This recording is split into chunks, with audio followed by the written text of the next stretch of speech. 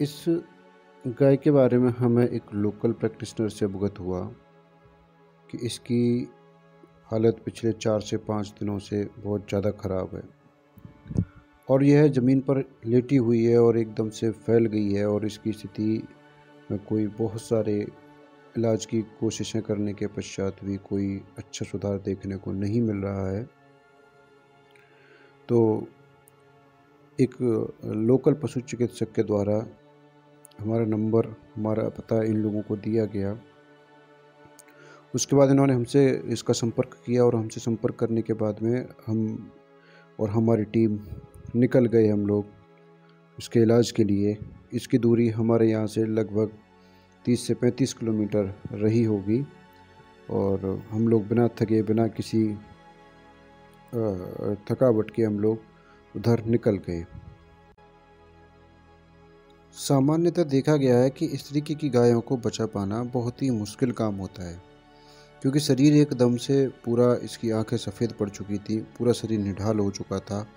शरीर के किसी भी अंग को टच करने पर इसको महसूस नहीं हो रहा था। निडिल लगा करके सेंसेशन लेने की कोशिश की तो सेंसेशन लगभग ज़ीरो के बराबर था। हमने इसका प्रॉपर एग्जामिनेशन करने के बाद इसके खून की जाँच करने की सोची, इसका ब्लड रिपोर्ट बनाने की सोची और फिर हमने इसकी ईयर से ब्लड निकाला। और उसका ब्लड स्मीयर बनाया और ब्लड स्मीयर करके हमने इसके खून की जाँच शुरू कर दी।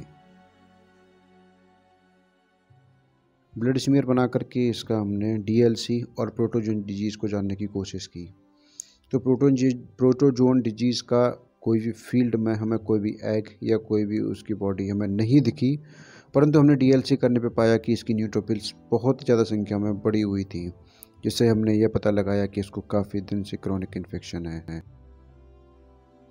उसके बाद मैंने अपने दोनों टीम मेंबर्स को ब्लड स्मीयर देखने का और बीमारी पहचानने का मौका दिया जिससे कि इनको फ़ील्ड स्तर पर ब्लड स्मीयर बना करके बीमारी को पहचानने का ज्ञान एक तरफ़ से तुम्हें जार जैसा दिखाई दे रहा होगा जो बूंदे बूंदे दिख रही हैं वो सभी आर बी सी है। अब देखो मैं स्लाइड को जैसे हिलाऊँगा तो तुम्हें देखना एकदम भूचाल आ जाएगा अंदर।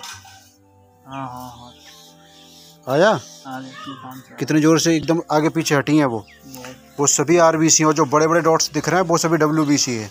इसको लंबे समय से इन्फेक्शन शुरू हुआ ड्रिप डीएनएस ग्लूकोज और डिफरेंट तरह की चीज़ हमने इसको दी।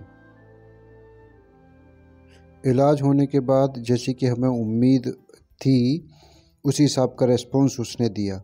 आँखें शरीर और पूरे शरीर में मूवमेंट आ गई बैठने लगी और थोड़ा अच्छा चरा भी खाया।